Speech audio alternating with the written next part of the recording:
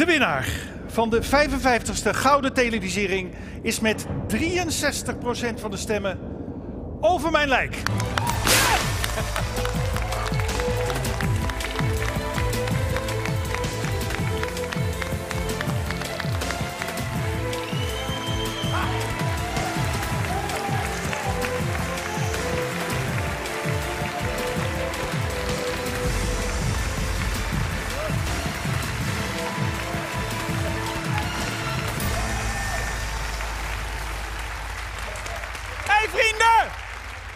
Alex, kom eens hier. Kom eens hier. Die gaan bij jou erom natuurlijk. Zo. Wil je wat zeggen? Wat doe jij nou? Ga ik dat even doen. Eh, ik heb een, ik heb even een klein beetje afstand, eh, Alex. Ehm, goed. Eh, wat moet je zeggen?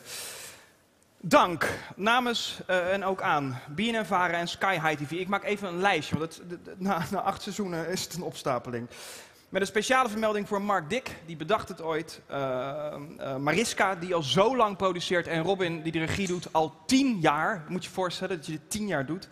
Dat vereist eh, passie en inzet. Yvonne Jaspers deed het ooit, moet je even noemen. Valerio Zeno deed het fantastisch. En de godfather van dit genre, Patrick Lodiers. Ik weet niet of je kijkt, maar hij is even goed voor jou en voor die andere twee ook. En dan in de geest van de kandidaten van afgelopen seizoen wil ik graag wat dingen zeggen. Namelijk Alex.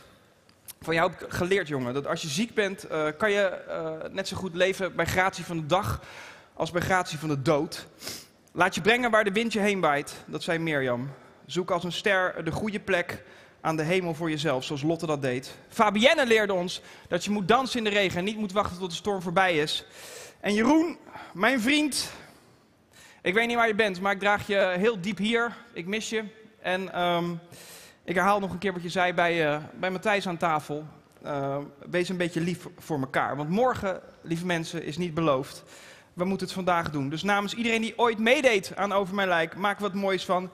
En eh, aan alle familie en vrienden en alle kijkers die gestemd hebben. En, en de rest ook van Nederland. Cheers. Um, dankjewel. Uh, volgend jaar nieuw seizoen. En heb een goede dag nog.